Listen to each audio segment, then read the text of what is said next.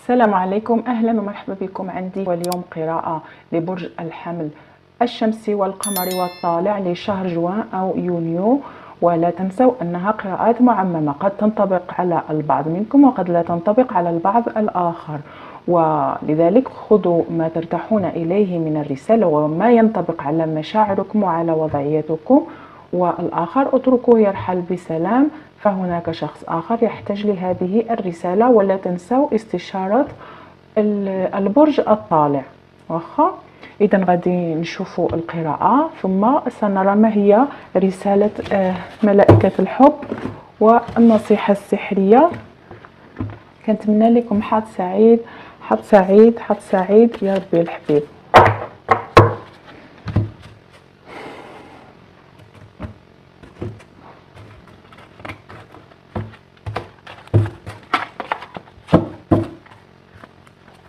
بسم الله.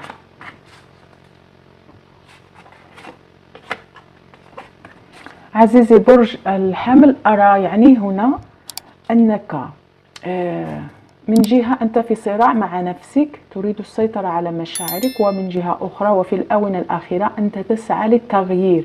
يعني آه، أرى أنك تريد أن تغير يعني آه، يعني تغيير عاطفي يعني تريد أن تسيطر في مشاعرك وكذلك تريد بداية جديدة وأنت في يعني في مرحلة وعي جديد وتريد التحرر من الماضي. نعم ومحاولة النسيان. هذا ما أراه. يعني أنت آه هذه كرت القوة تقول أنك يعني آه بدأت يعني بدأت تستيقظ يعني من مرحلة ربما عشت آه، قصة عاطفية أو كنت في علاقة آه، سلبية نوعا ما واخا؟ وأنت تريد بناء حياة جديدة واخا؟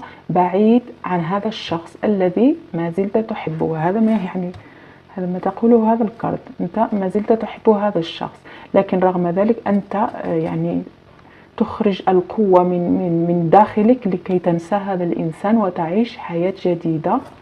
وأنت انظر يعني أنت آه، بنيت يعني غرفة عقلية نظيفة وخالية يعني ليس بها أي أي أحد. يعني غرفة عقلية. نعم يعني أنت آه، تريد أن تكون لوحدك لتفكر نعم وربما تقوم بالمديتيشن كذلك واخا. ولكن عندما تنام عندما تنام أنت تحلم بهذا الإنسان أنت ما زلت تحبه.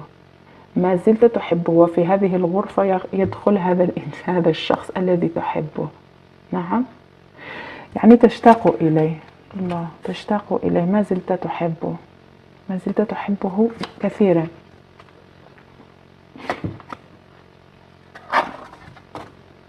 لكن أنت يعني متفائل. أنت متفائل.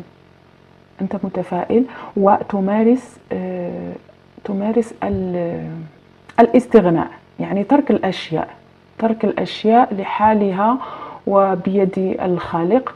يعني ترك كل الأشياء السلبية تريد الوصول للسعادة لوحدك التي أو ربما هناك شخص آخر جديد في حياتك.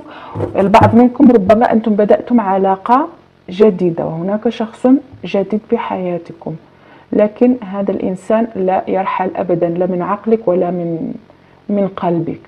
واخا؟ هذا الإنسان يعني لكن أنت تحاول دائما أن أن تهرب منه لأنه يعني يعني إنسان لم يكن سلبي لكن آه، العلاقة لم تكن جميلة. يعني كان هناك ربما انفصال أو خيانة. نعم. وأنت رغم ألمك ورغم مشاعرك تبتعد وتأخذ مسار جديد في حياتك. لكن آه، الذكريات والشعور يعني الذكريات ما زالت حية في قلبك وفي وفي عقلك. واخا هذا الحبيب هذا الحبيب يعني الذي يعني رحلت عنه أو رحل هو طاقته ترابية. ومائية وكذلك ربما أسدية كذلك. عفوا نارية. واخا هذا الإنسان هذا الحبيب لنرى ما هي طاقته؟ هذا الحبيب نشوف هذه القفزات لنرى ما هي طاقة الحبيب؟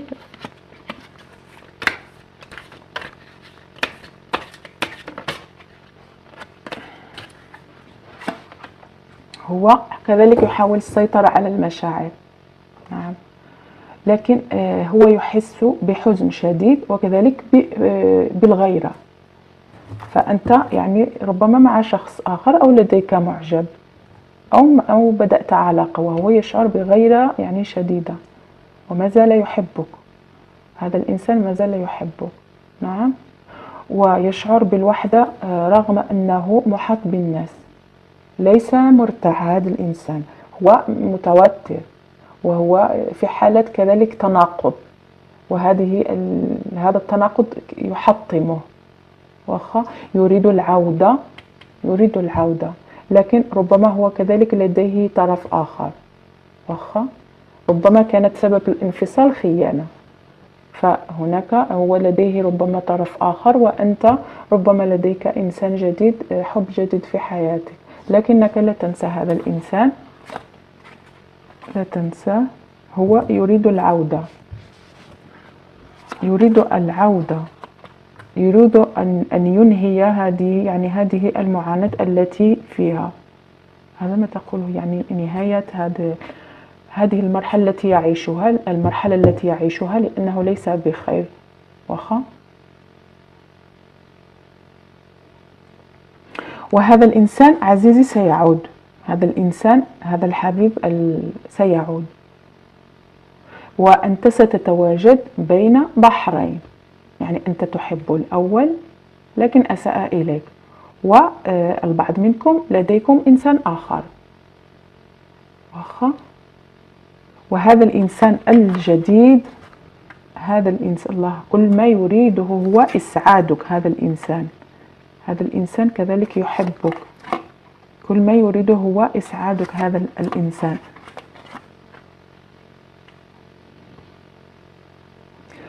أنت عزيزي برج الحمل بسبب هذا التغيير الذي قمت به يعني أنت يعني قمت بالاستغناء يعني تركته يرحل ولم تتشبث يعني بعد المعاناة آه، لأنك أنت عانيت كثيرا لكن بعد ذلك فهمت أن لابد أن تترك الأشياء وتقبلت الأشياء تقبلت الواقع.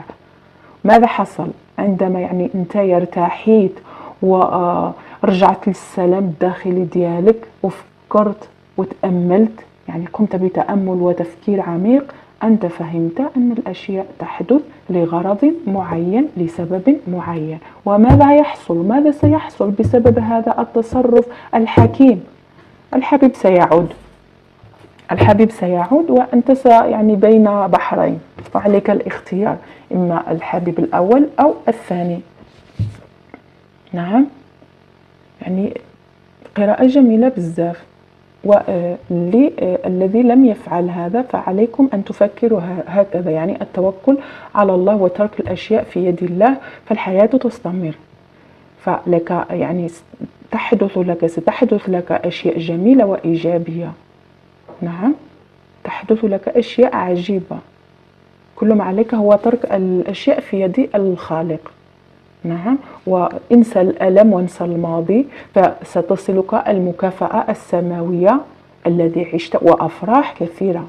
نعم أفراح أفراح كثيرة يعني بعيدة عن هذا الشخص. نعم أنت ستعيش يعني فرح وسعادة لا علاقة لها بهذا الشخص الذي تحبه أنت. نعم لكن القرار قرارك أنت فهذا الإنسان سيعود. وأنت من يختار مسار الحياة وأنت يعني كل شيء في يديك يعني بسبب يعني غيرتي لا مونتاليتي ديالك بديت كتفكر يعني آه، بوحديتك يعني بعد تفكير عميق غيرتي التصرف ديالك والعقل ديالك وشنو غادي يوقع؟ اش غادي يوقع؟ غادي يرجع. هذا يعني من طلقتيه يعني طلقتيه نعم طلقتيه من يديك ومن حياتك فهو سيعود. هذا كان كذلك قانون سماوي.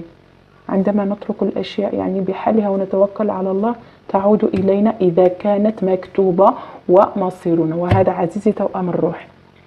للأسف الشديد لأنه يعني عشت مع قصة يعني قصة صعبة لكن هو توأم الروح كذلك.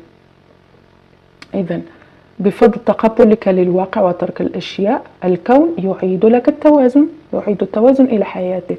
تحدث لك وستحدث لك أشياء رائعة لا يمكنك تصديقها. أولها تصرف هذا الإنسان الذي الذي سيعود وأنت كنت تعتقد أنه لن يعود أبدا لكن سيعود سيعود أو سيتصل. فهو نادم على ما حصل لنرى ما هي رسالة الملائكة.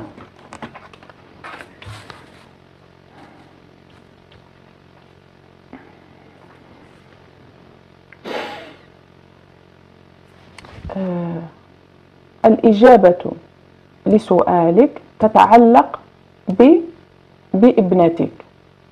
ربما لديكم ابنة هذا الكرت بحال خرجت لي في في القراءة ديال القوس وعاود ثاني خرجت.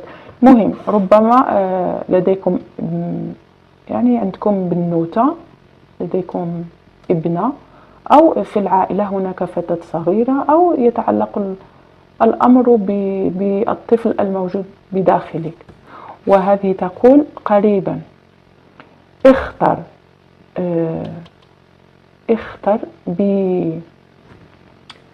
اختر يعني بالتدقيق ما تريده لكي يصل ما تريده في أقرب وقت ممكن.